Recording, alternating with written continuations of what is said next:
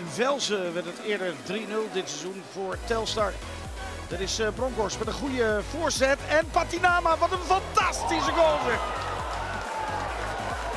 In 88 ging het vanaf de linkerkant. Toen was de voorzet van Muren en de goal van Marco van Basten. Nou, dit lijkt er aardig op.